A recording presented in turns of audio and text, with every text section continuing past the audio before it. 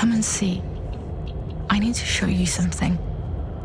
A product that is destroying our planet. To make space for it, millions of trees are cut down.